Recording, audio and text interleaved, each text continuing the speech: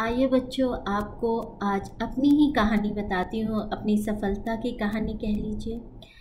और ये प्रोग्राम जो चल रहा है, मनोदर्पण, उन, उस प्रोग्राम के अंतर्गत आज आपके सामने अपनी कहानी लेके प्रस्तुत हूँ।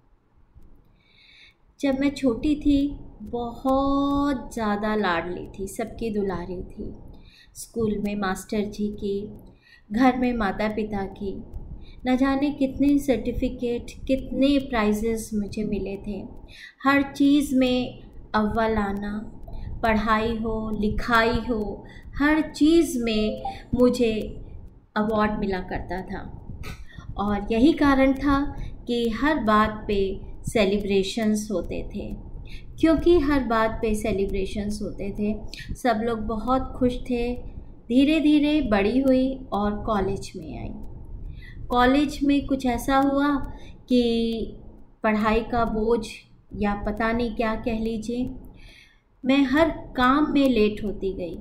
अपना कोई भी काम टाइम से नहीं कर पाती थी, चाहे वो लिखने का हो, चाहे वो पढ़ने का हो। हर काम में मुझे या यूँ कह लीजिए उठने में, कहीं वॉक जाने में, हर काम में मुझे लेट होने लगे। धीरे धीरे चीज़ों को मैं भूलने भी लगी और इससे अकेलापन अपनी ज़िंदगी में आ गया। क्योंकि चीज़ों को भूलने लगी थी, सोचा कहीं डिमनेशिया तो नहीं है, इसलिए डॉक्टर के पास गई। डॉक्टर के पास गई तो डॉक्टर ने डायग्नोस किया, डिप्रेशन है। लेकिन उसी दौरान डिप्रेशन के साथ साथ एक और डायग्नोस हुआ, जो कि ब्रेन ट्यूमर था। अब लोगों को समझ में आने लगा मेरा दर्द। जब तक डिप्रेशन था, तब तक लोगों को कोई दर्द समझ में नहीं आता था। लेकिन क्योंकि ब्रेन ट्यूमर डायग्नोस हुआ था, इसीलिए वो लोगों को दिखता था और लोग मेरे हाल चाल पूछते थे। दुख की बात तो ये है कि डिप्रेशन में किसी को समझ नहीं आया कि मेरे अंदर क्या चल रहा है।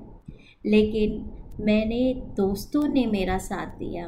मैंने अपने दोस्तों से बातें करनी शुरू कर दी और धीरे धीरे मैं उस डिप्रेशन से बाहर आई और फिर से दोबारा वही हंसती, खेलती लड़की बन गई।